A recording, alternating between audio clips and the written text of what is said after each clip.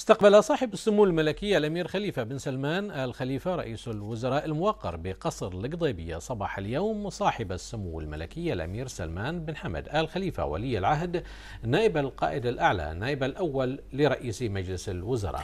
وخلال اللقاء استعرض سموهما الجهود التنموية الموجهة لتطوير قطاع البنية القطاعات البنية الأساسية والقطاعات الخدمية والعمل المتواصل التي تبذله الحكومة لتحقيق التنمية المستدامة ومواجهة تحديات تحدياتها.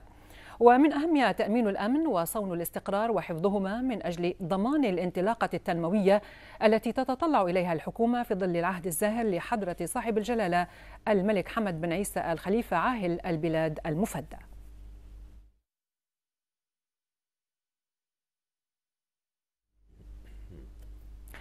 كما استعرض صاحب السمو الملكي رئيس الوزراء وصاحب السمو الملكي ولي العهد نائب القائد الأعلى النائب الأول لرئيس مجلس الوزراء خطط الحكومة فيما يتعلق باستمرار تمويل نفقات الميزانية العامة للدولة والخطط لخفض الدين العام من خلال تنمية الإيرادات العامة النفطية وغير النفطية والمبادرات والإجراءات اللازمة للتعامل مع التحديات المالية التي تواجهها الميزانية.